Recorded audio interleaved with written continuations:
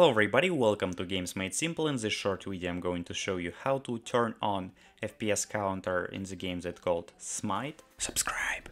So let's do it. First of all we have to open up our Steam settings.